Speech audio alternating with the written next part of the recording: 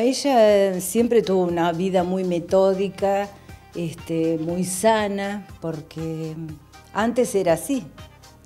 La parte de trabajo que ella hacía era una cosa que le encantaba. Hasta sábado y domingo ella se dedicaba a su colegio, a su colegio querido. ¿Se acuerda cuando le hacían eh, la leche, la merienda a los chicos? Y nunca la ibas a ver enojada. Este, si un chico no se sentía bien o pudiera estar con temperatura, había que llevarlo a la casa. Y bueno, ¿y quién lo llevaba? Doña Paca.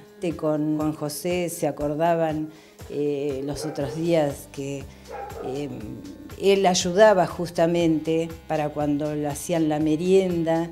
Y, son recuerdos que, que tiene, ¿no? Y cuando empezó en el colegio, a ver, él ya terminaba sexto grado.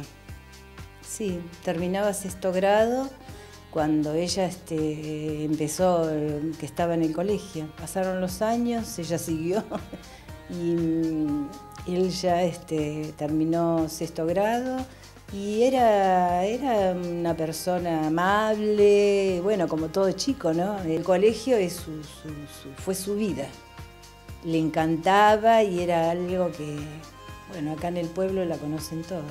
Yo estoy bien, me siento bien toda, así que no siento nada, contentísima de todo, con todo lo que han hecho, lo que están haciendo, porque es algo que no tiene nombre. Si te empiezo a hablar con la escuela, no sale más de acá.